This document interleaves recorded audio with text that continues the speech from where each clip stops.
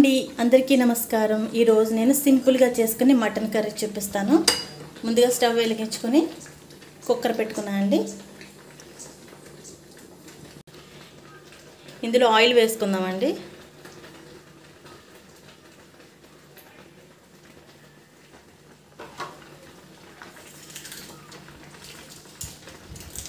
Oil heat అయిన తర్వాత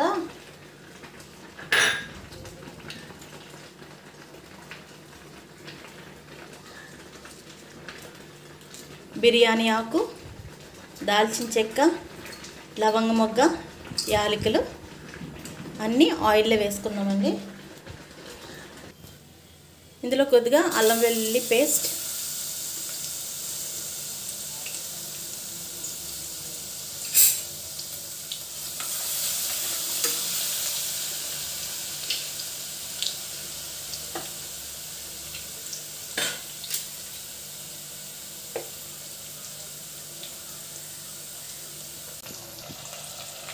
రెండు పెద్ద ఉల్లిపాయలు.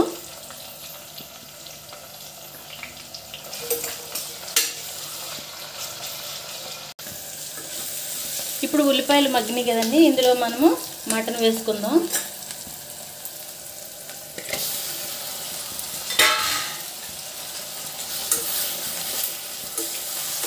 మటన్ వేసుకుని దీన్ని బాగా ఆయిల్లో ఫ్రై చేద్దామండి.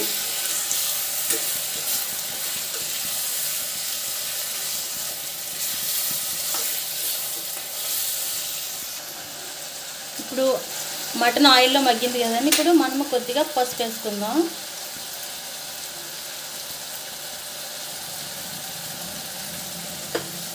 మూడు స్పూన్లు కారం.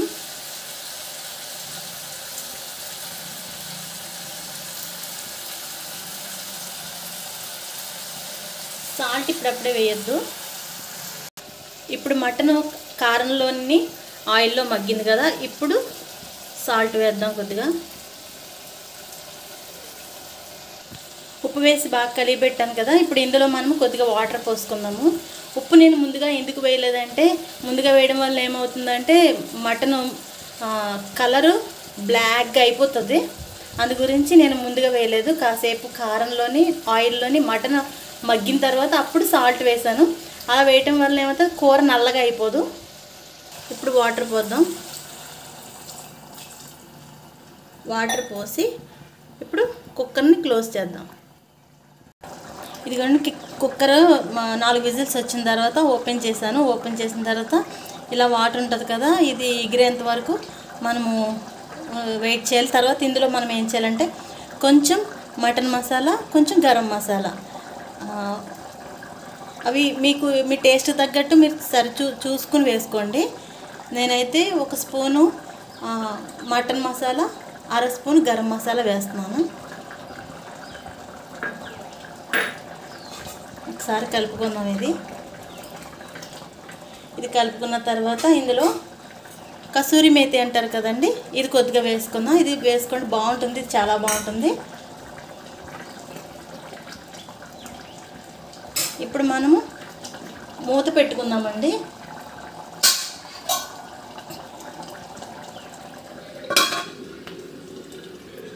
కూర ఇలా ఎగురుతున్నప్పుడే రెండు రెండు పచ్చిమిరపకాయలు వేసుకుందాం ఇందులో. ముందుగా పచ్చిమిరపకాయ వేయలేదు లాస్ట్లో వేసాను నేను వేసి మూత పెడుతున్నాను. చివరిగా కొత్తిమీర వేసుకుందాం.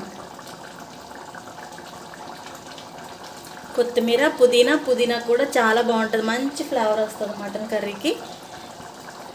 అయితే నా దగ్గర డ్రై అయిపోయిన పుదీనా ఉంది అది కూడా కొద్దిగా వేద్దాం.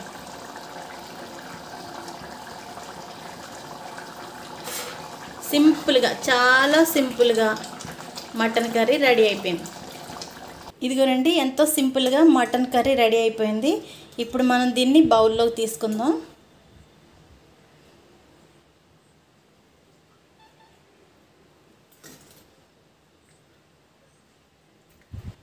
మీరు చూసారా? కూర నల్లగా అవ్వలేదు. మంచి రెడ్ కలర్లోనే ఉంటుంది. ఎందుకంటే మీరు ఉప్పుని జాగ్రత్తగా చూసుకోవాలి. దీని మీద కొద్దిగా కొత్తిమీర చల్లుకుందాం. నచ్చిందా మీకు నా మటన్ కర్రీ? నచ్చినట్లయితే లైక్ చేయండి షేర్ చేయండి సబ్స్క్రైబ్ చేయండి. Thank you.